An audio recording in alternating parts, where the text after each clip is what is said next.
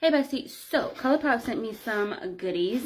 Um, this is not from like a like collection. They sent us an email to pick from this um, group of uh, products that they picked out for us to pick from. What?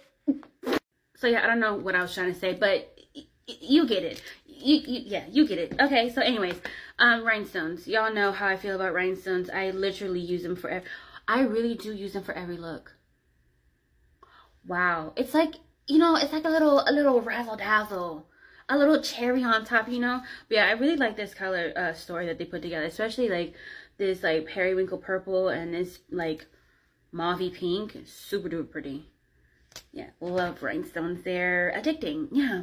And then I got this Super Shock Shadow Ultra Glitter. It's called Rose Garden. So it's like a purple or lavender to blue duochrome shift. has blue sparkly glitter in it. Super duper pretty.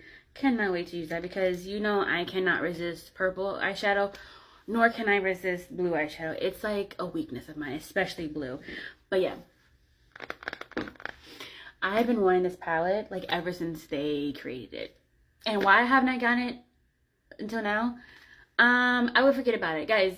my memory not that great, but yeah, I would remember. I was like, oh, gotta pick it up, and then I forget. Remember to pick it up, then I forget. But that's not what we're here for. Y'all, look at this palette. It is so pretty.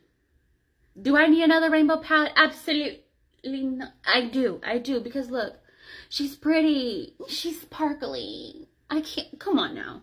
But yeah. no, this is not a tutorial. But you know I will film a tutorial. But don't even, bestie, at this point you should know the drill. I show y'all a little something, something, and of course I'm going to do a tutorial. Are you questioning me at this? I thought our relationship was better. Anyways, when I come back, I'm going to look like a 10 over 10 over 10 out of 10 plus 10. Period.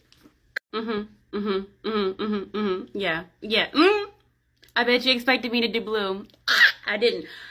It was a struggle. I'm not gonna lie to you. I was like kind of shaking. Um, because y'all know I have a weakness for blue eyeshadow. But anyways, because I had this single pan, single pan, huh, this uh super shock shadow, I felt like this paired better with purple than blue. And I forgot I had this. I got this sent from Hard Candy. It's one of their metallic eyeshadows.